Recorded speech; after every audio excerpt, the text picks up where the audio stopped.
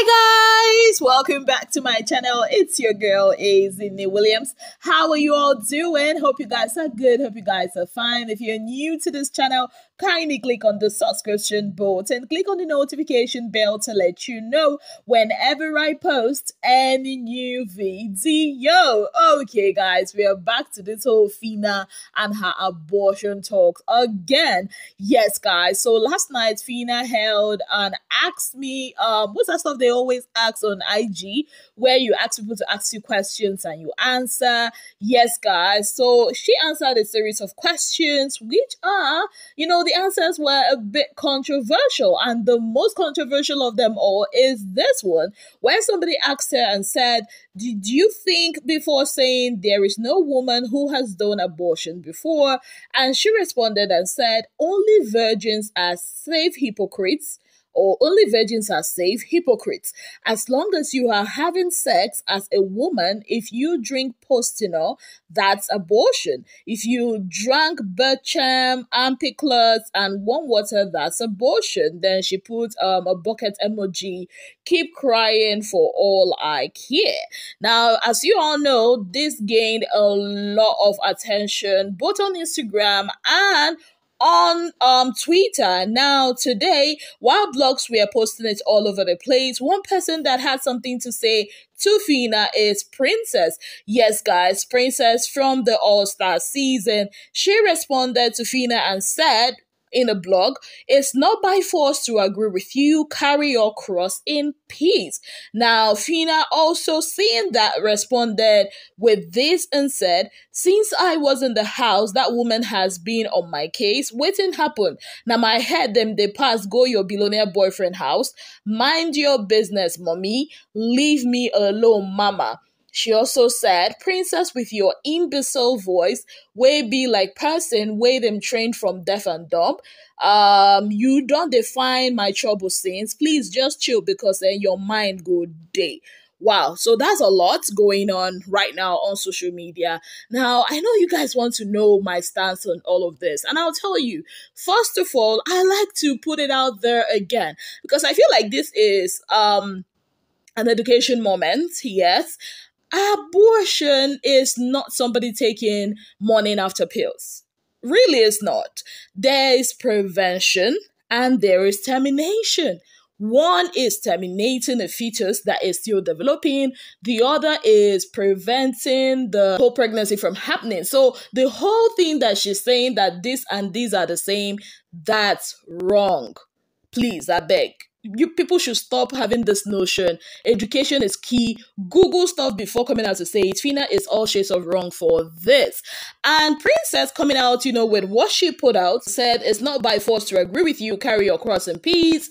Um, it kind of like I understand where Princess is coming from, obviously. Um, saying that from my own perspective, I feel like Princess is trying to say, okay, do not generalize. You said you've done it, you've done it. So don't try to generalize it. It's not about every other woman, right? But maybe the way she put it, you know, came off as being aggressive towards Phyna. And also, let's also have in mind that Princess has been coming for Phyna for a very long time, like since last year, even when Phyna was still in the house like for a different reason, not just about this particular topic. So of course, Phyna decided, okay, I'm going to clap back at this. Even though if you would ask me if I was her PR person, I'll probably tell her not to. In fact, that question and answer thing that she did was so not called for at all.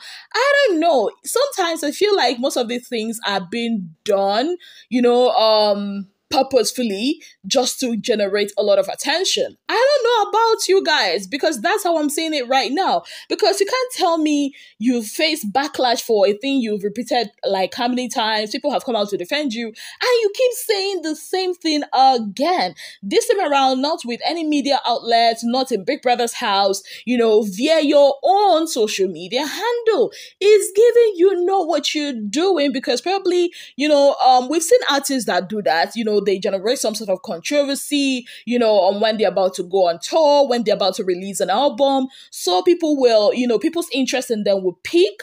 So I think this is what it is. That's why honestly, I don't pay, I don't pay any mind anymore. I see the comments, I see all this, and I'm like, okay it will pass. Let's see what you are going to release tomorrow because that's how, honestly, that's how I'm seeing this whole um, scenario right now. Yes, guys. Now, away from that, in also her Q&A, um, Phyna also said something that got a lot of us questioning her relationship, you know, with Baye, the All Stars winner. Somebody asked her a question and said, Are you cool with Baye? And she said, I thought I was. Am I surprised? No. Some of the level of people, if you've noticed, you know, um, ever since Baye won, they've just, you know, withdrawn from her. I mean, these are people that um you know, when she was in the house, rooted for her, you know, went all out for her, defended her, you know, and all of that. But all of a sudden, ever since she came out of the house, they just decided or it just looked like they everybody just went back to their own square roots. It's not like i'm saying oh they should farm her but it seems like something is going on that we do not know. I remember i think it was last month yeah last month yes um Phyna put out a tweet about you know um being doing stuff for people and people betraying you or something of that sort. And Chrissy O was like she should not talk about it. She should just let it go. And a lot of us did suspect that it has something to do with Ile Yes, guys. So I do not know until the real gist is put out there. Let's keep, you know, um, with her answer, she thought she and Ilebaye were cool. Now, talking about Ilebaye, she also had her own fair share of controversial statements last night. Ilebaye put this out, I think it was from a fan, and she posted it on her snap. The person said, um, Can I tell you a secret? Don't share this one by replying publicly. Okay, don't know if you've noticed your impact on other BBN housemates. You've got this millennial scrambling to keep up. Chai try we the millennials have suffered anyways um this person went on to say the way their dress is changing, trying to look younger. Some have started saying per. Hope they are not trying to steal it. And even the way they style their hair, they're doing whatever you've done. When you trend for something, next day we see their snaps and IGs trying to top it. It's funny to see because they don't know what you will do next, but I love how you keep surprising all of us. Okay, I have to say this with my full chest. Some fans, you all need to rest. You can actually praise your faith without being dumb. And I'm saying it without having any water in my mouth. For Ilebaye to even think of even posting this out here on her snap, I don't even know which one is crazier. I don't know which one is crazier because what's this? What's this that they are trying to look younger? Which of the housemates have been trying to look old before? Which one? What are they copying from her? From is it the per that they are saying that she even made some of them to say? So what exactly are they trying to top her on? Everybody oh, from these all stars is, from what I'm seeing, are actually trying to live their life. You know, this person said, okay, don't put it out here, but for she putting it out, out there, it means this is actually what she's thinking. And this is a very bad look. Oh. It's a very bad look because if she's thinking like, oh, these people are trying to copy me, what exactly are they trying to copy here? And well, Uriel came out, you know, in support of Ilebaye and said, just saw thought I okay, wait, that didn't come out, right? But that's what she wrote. Just saw um Okay, thought I would say as a millennial, there is nothing wrong with getting inspiration from a beautiful fashionista Gen Z. I bought these boots because I saw them on Sister Baye. Let's spread love, not hate. Fashion is made for all to enjoy. Fans should encourage love. The economy is hard already. Shout out to all the Gen Zs. I have no shame being inspired by them honestly, Uriel, I get your point. Nobody is saying you cannot be inspired, you know, by anybody. You can be inspired by the Gen X, Boomers, Millennials, Gen Zs. You can be inspired by anybody. But the fact that she is saying that these people are trying to be her. It's what's absurd. You can be inspired by the boots and get it. We get that. But I mean, you guys should be honest now. That's in way Ilebaye fan, right? Where Ilebaye put out there. It makes sense for an eye. It makes sense. Honestly, does it make any sense? Haba. See, yeah. I'm all for everybody doing their thing. I'm all for, you know, um, hyping your fave, but don't hype your fave with stupidity. I think that's the thing. Don't hype your face because the way I'm looking at it now, all the All Stars housemates, everybody they hustle.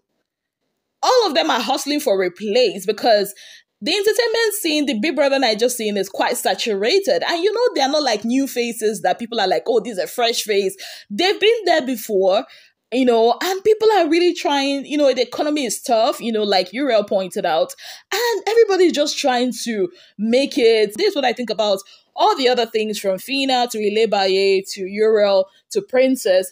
This, you know, is my opinion about everything that happened today. What are your thoughts? Let me know in the comment section.